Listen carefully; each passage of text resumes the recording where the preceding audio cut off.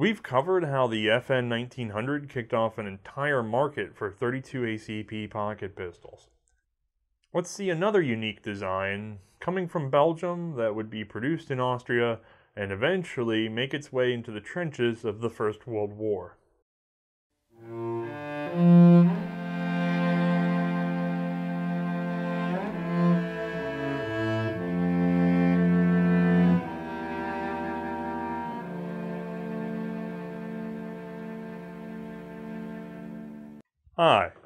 I'm and this is the Steyr Pieper Model 1909 Tipping Barrel Pistol.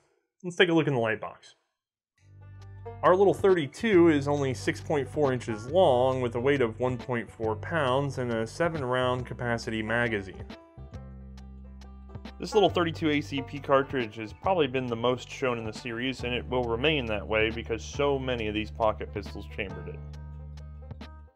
I'm happy to say that when we talk about the inventor of this pistol, I get to bring up just one of those names that you don't hear in the popular firearms history, but is everywhere in the written history. That name is John Warnant.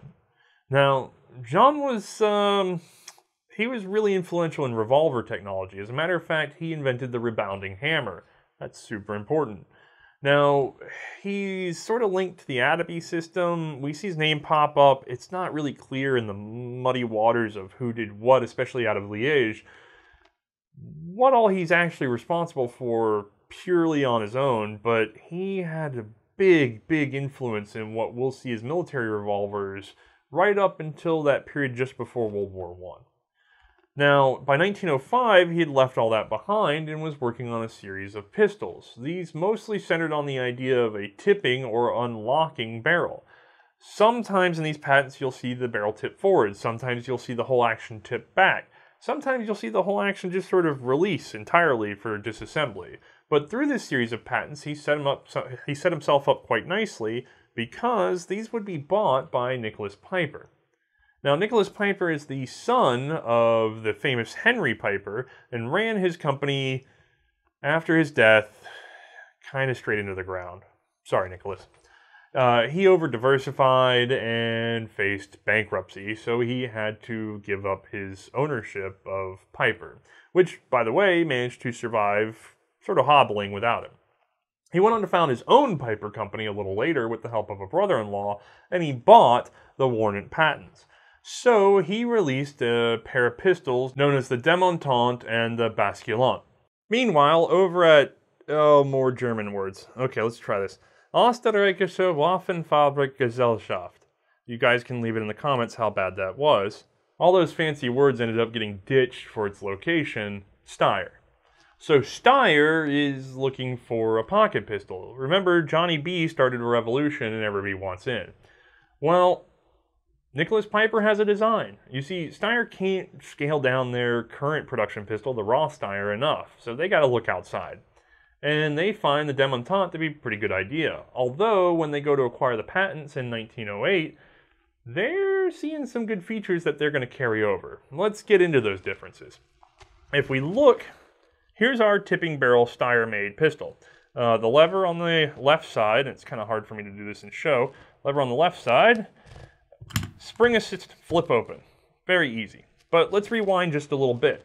Here is one of the Belgian designs. All right, this is a lot earlier. Now this guy, most of these Pieper made Belgian designs, when we flip that lever, we're not going to get a tipping action. What we're going to get is a simplified takedown. Boom, we're in, we can clean. For some reason, Pieper just didn't like the tipping barrel, even though it is in the original patents he liked this cleaning method. And so most of the Belgians are going to look like this in various shapes and sizes and calibers. All right, let's get that out of the way and get over to our feature today. All right, so if we're looking at this, we have a tip open barrel. The other interesting thing is that there is no uh, extraction system. It's kind of hard to see, but we'll show it better in the animation. But there is no extractor. Um, instead, we have these sort of grooves to help with gas escape, and being a true blowback system, not only is the uh, breech operated by that, but the casing itself is ejected just through blowback operation as well. This ends up being sort of the worst feature of this pistol because, well, you know, if you don't have perfect detonation, you're going to have to tip this thing open, and you're going to have to pry it out with a fingernail or something else. It doesn't help to have less than pristine ammo with this gun. All right, while we have the tip up open, I should probably point out that the lower section is the barrel and the upper section is the recoil spring, and you'll notice that it's currently disconnected from the action. Well, the slide, therefore, is independent and there's no spring pressure on it at the moment. This can be a pain if it gets juked to the rear because now when we go to close her, she's not going to lock up. But if she's too far forward, that's not so much a problem. This shaped lug puts her right where she needs to be and she will click down. Now, if you notice, we've got a tab that locks in. So when that's locked in, I can pull the slide to the rear and you see that piston, it's gonna suck her right forward. That's how she links, is that little anchor right there. As a matter of fact, if I tip her forward, I can even get my fingers on there and give it a good pry, and she's gonna come, it's just not so easy. Kind of ingenious, I like it, it lets you separate the action, and yet it comes back together well, as long as the slide doesn't get pushed to the rear. Other Steyr improvements include uh, making a steeper rake, putting two screws in there, stuff like that. Minor stuff. Um, the biggest thing left to talk about is probably this odd magazine down here. Uh, let's see if I get her out. Now, unloaded, this is easy. It pops right out. But with the sort of cartridges in there, it swells a bit. She can be a little stiff. Uh, it's unusual in that, first of all, for a heel release, we're pushing on the rear and we have our tab at the rear. It makes it a little ungainly. The other thing is it has two notches, two positions. That first one is sort of for quote unquote target mode. Uh, here, let's get her in there. Click one. Okay, so we're, we're set up like that. Now, uh, the semi-automatic action is working, but it can't pick up the next round. So that means that we can tip the barrel forward, put it around, close her, fire one. She's going to eject, but she's not going to pick up another round. So we tip the barrel again, load, fire two. Then the idea is just single shot. It's just a single shot pistol. Um, if we click her all the way in, we now have multi-shot regular semi-automatic pistol. This is of dubious merit because, quite frankly, I just don't find it all that useful to have a single shot pistol for target shooting on the side. And it ends up confusing the issue when you're trying to load the magazine or unload in a hurry because nine times out of 10 when we were on the range and we still had rounds in here and we were pulling it out, we'd pull that second position, it would get stuck, and then we'd have to hit her again. And it's dropping free now, but with a cartridge in there, we'd have to hit it again and somehow get another finger or something in that little narrow gap and pull her all the way out. Bit of a pain in the butt. All right, other than that though, fairly good pistol. Um, the last improvement I think Steyr did was just cleaning up the sights. We can do a quick fixture of that. Great. All right, why don't we go ahead and do our little x-ray trick to get into just how this thing works on the inside though. Okay, let's load this to the first notch. Note that the magazine is now not deep enough to feed the next round. We'll press the left side lever to release the barrel to spring upward, and load one round in the chamber and close.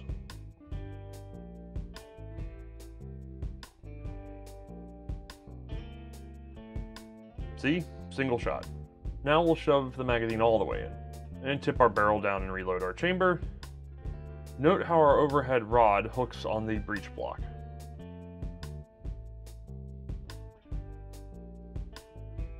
Now we're rocking and rolling. Returning to basics, this is a single action hammer fired pistol.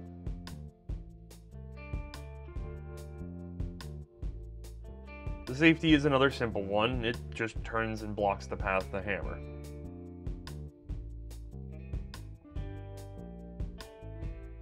The disconnect is tipped by the hammer plunger, instead of the slide like we've seen so often with other designs.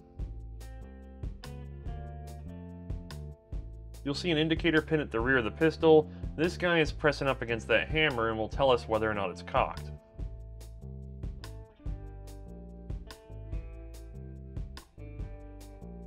Alright, we'll clear this magazine and hand it over to Mae.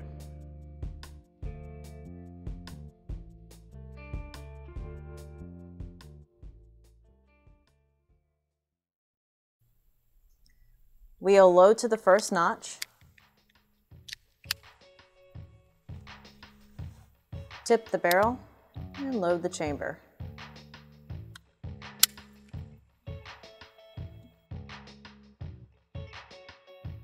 Squeeze. That was single shot. Let's push that mag in and rack the slide.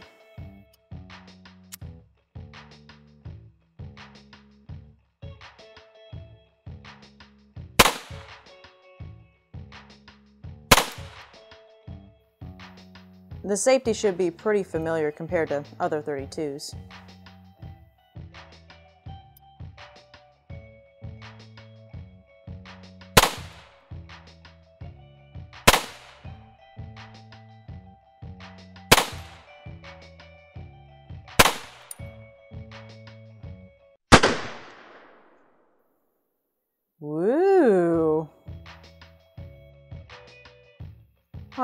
That recoil pushed my grouping fairly wide.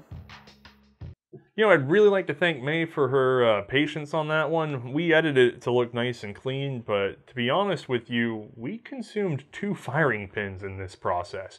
This gun is sort of self-destructive in just how severe its recoil can be due to its light slide. Now, the uh, Steyr would mostly serve as a civilian pistol, and it was produced in sort of a big lump batch from 1909 until 1911, when Steyr sort of decided to move on to another idea, the Steyr Hahn military pistol. This was a much bigger, more lucrative contract, and we'll get to it a little bit later. Now that doesn't mean that Steyr gave up on this 1909, it just means that they built up some inventory so that they could focus on something else. They planned to sell through it slowly, you know, on the side to the commercial market. They just wanted that military contract. Now, the 1909 sat in inventory until, well, the Frommer stop sort of got in the way. We're going to cover this pistol another time, but it's a hot little 32, and most importantly for now, it's Hungarian. In the dual monarchy, everything was separate but equal well, a little more equal for the Austrians. And so the idea of this little Hungarian pistol being around, it ruffled some feathers, and they wanted an Austrian design in 32 to kind of compete with it. So Steyr offered up the 1909 as a pocket military pistol. And Austria took it. They called it the Model 13, and they went ahead and added a lanyard loop under the left grip, and that was really about it. It really just required milling out some of the plastic and setting a screw through there, uh, they didn't even bother producing new for the military. They just took 8,000 from inventory. Another 2,025 ACPs were also released to the military. These are a really small number for really far off the line officers. We're not going to get a lot into that. So, with a combined total of 10,000 Steyr Piepers in the military, it probably wasn't the most impactful of World War I, but it's pretty unique and we felt like it was worth mentioning. That's not the end of production, though. Um, these would prove to be popular enough that after the war, production resumed in 1919 through 1929 for the 32s, and all the way to 1932 for the 25s. Those were some confusing numbers. 1929 for the 32s, 1932 for the 25s. Sorry. All right, so uh, that's still not the end, though, because the 32s are still in police and military use and they're becoming a problem. So you see, we mentioned that light slide, the horrible recoil, parts started fatiguing and cracking, you have feed problems because of the lack of an extractor. In 1934, refurbishment comes out. So they start replacing uh, this rear section with a heavier slide, an extractor, and a, even a rubber recoil buffer. So this is the 0934 model. These would serve Austria into the Anschluss and then on into the Reich, so they are going to be present for World War II. After that, they mostly end up being able to retire in peace. So let's go ahead and get Mae's opinion on the original 1909 and 32 as it would have been used in the First World War. The Mae came back the very next day. The Mae came back. We thought she was a goner, but the Mae came back and she's going to talk about the Steyr Pieper 1909. All right, so how did you feel just handling this pistol right off the bat? You know, right off the bat, I noticed this was a very comfortable gun. I thought the weight was ev evenly distributed. I thought it was nice, slim gun, that it was going to be very comfortable. And then it starts to get a little bit hinky. I found the safety itself was difficult to operate one-handed on, yet easy to operate one-handed off. The magazine I thought had a lot of potential even though it was a heel release because of this push button.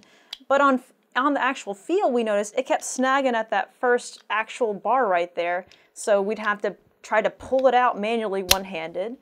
Um, the slide uh, is actually easy to maneuver. It's pretty light.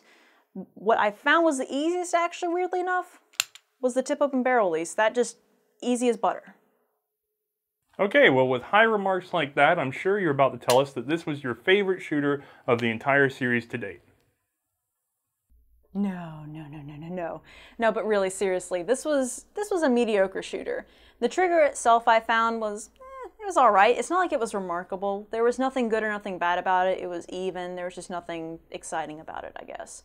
The swoop back grip here I thought was nice and comfortable to grab, but then we get into actually shooting it, and I found the recoil on this gun was unmanageable.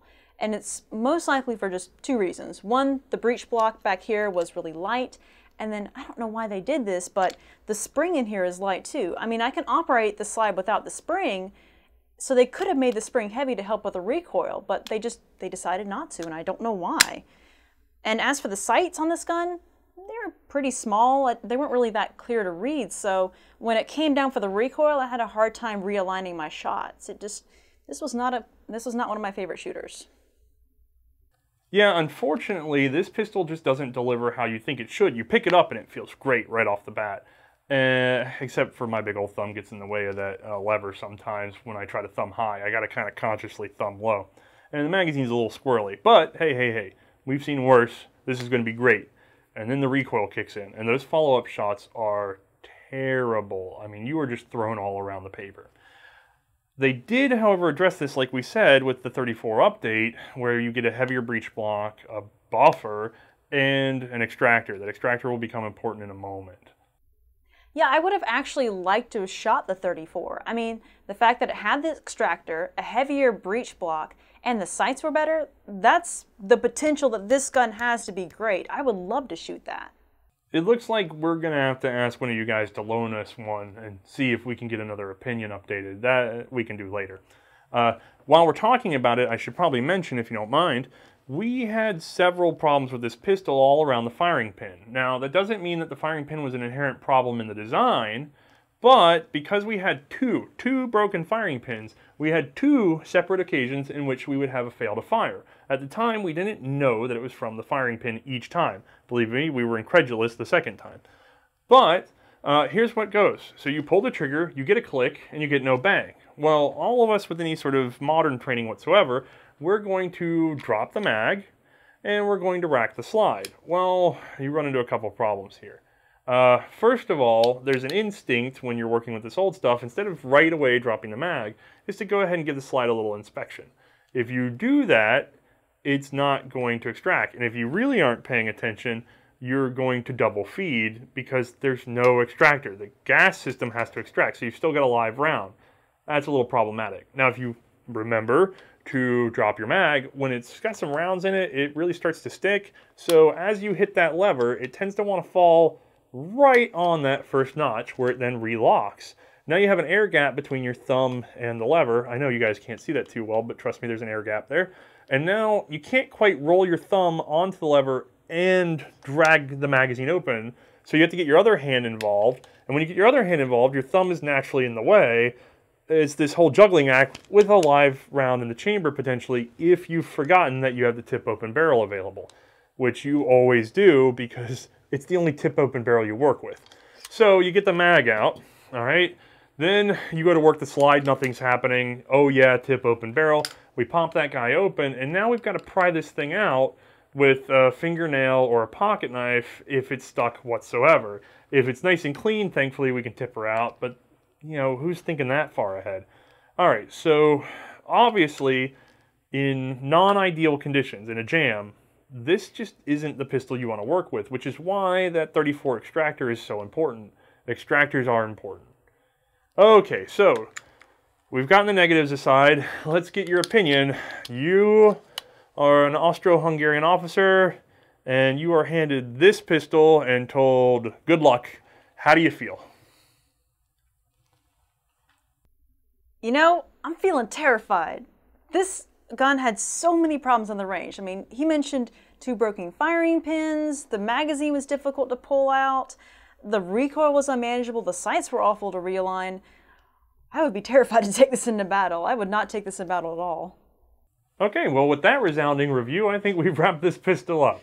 But no, seriously, we we love this gun conceptually. If you have one in your collection, you should be very proud. They're extremely unique, and they're a lot of fun to shoot eh, with a little whip on the wrist uh, at the range. It's just that as a military pistol, it does not work, and there's a lot of potential there. We we know that tip-up barrels can be great for people with weak hands. We know all the possibilities. They're just not well executed yet. It's very early days. All right, so with that wrapped up and out of the way, we just want to say thank you all for watching. And don't forget that we've got some updates after the credits. Yeah, thank you, everyone.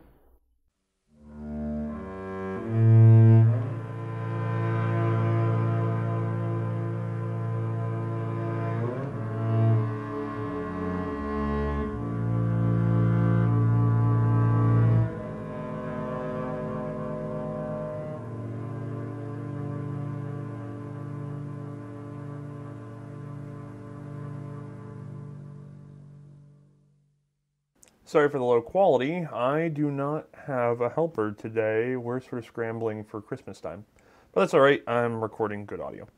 Uh, let's see, a couple things to cover. The Indiegogo poster campaign wrapped up at $8,759 um, after PayPal fees, Indiegogo fees, that sort of thing.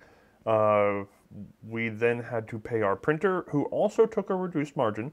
So, for those of you who have received or are about to receive your posters, I hope that you notice they are excellent quality for the price. Um, that left us with about 3.5 left over. Uh, we already blew one of that right away on a great piece of equipment we hope you'll enjoy. We've also gone ahead and spent $500 on some additional reading materials so that we can get ahead on this machine gun research. Um, the other thing is we've got some equipment that sort of started falling apart here, microphones and things like that. So it's great. This is well timed. We'll be able to replace things and keep the show rolling and make some more positive investments. We just got to plan out exactly where we want to put it.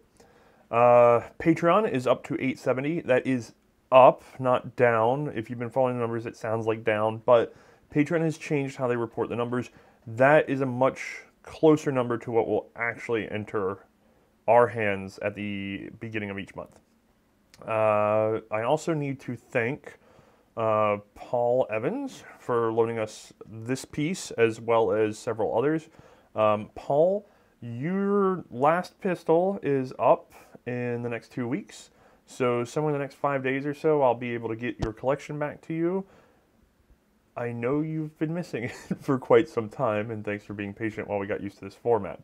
Um, for those of you who might want to loan us something, uh, we take very good care. Uh, we're very honest with our handling, and uh, just let us know what you have. Um, I've actually had some people make some offers, and I want to make sure I say one thing very clearly. If you email us something that you can loan, we may not be able to use it right away, especially if it's not World War One. But what I will do is I will respond whether or not we already have it. And if we don't already have it, I'm literally going to take your email with your list and put it in a separate folder in my Gmail so that I can search it as we get further in the show. So if I say to myself, oh, now that we're out of World War One, I, I want to cover Spanish Mausers, then I'll be able to just plug in Spanish Mauser and see that you're on our list of willing donors and give you contact at that point. And I'm sorry that I don't have a better way of handling that that's more personal. But at least, you know, even if it's not something that fits right now, if you want to put the offer out there, we can contact you about it later when we do have the time. And we very, very, very much appreciate it. Um, just because we can't use it doesn't mean that the thought behind it wasn't wonderful. And we really appreciate people sharing their pieces of history, not only with us, but with the rest of the world. Okay, so on top of that, uh, if anybody's got a Lee Enfield uh, number one Mark III with the volley sights, please let me know. We've been looking to borrow one for a while. Uh, on top of that, let's see. Oh, the the channel itself. Last thing I gotta say, uh, you guys are watching more of the show, especially because of the Ross Rifle episode. I'm glad to see that it was well loved, and we will try for longer formats when we can, and I will try to soak more details out. I've been sort of holding back to make it more viewer friendly but it seems like you guys really want detail and nuance when it's available. So we'll do that for you. Uh, now, our subscriber count, though, hasn't really gone up very much in the past month. And it just seems like we've sort of, we don't know where to share ourselves at this point. So if you know of a forum or a blog that might want to hear from us, just let me know. I, am more than welcome to talk to anybody. And by the way, I don't want to be like shoved down somebody's throat. I just, if somebody would appreciate the show, we'll show them the show.